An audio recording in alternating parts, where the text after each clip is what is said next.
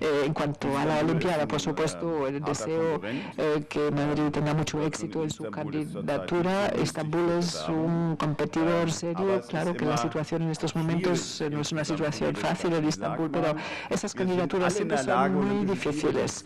yo diría que todas estamos en condiciones de llevar a cabo una Olimpiada, pero estamos a veces dejando que, las, que los organizadores de las Olimpiadas nos eh, eh, empujan a, a, una competencia un poco ruinosa para, para nosotros. Eh, ustedes ahora lo intentan por tercera vez y han invertido mucho y si se pierde una candidatura, pues siempre es como un fracaso personal del alcalde, aunque no tenga ninguna culpa. Me acuerdo cuando se perdió la primera candidatura a Londres, pues el, el alcalde verdaderamente sufrió un shock y tardó en recuperarse.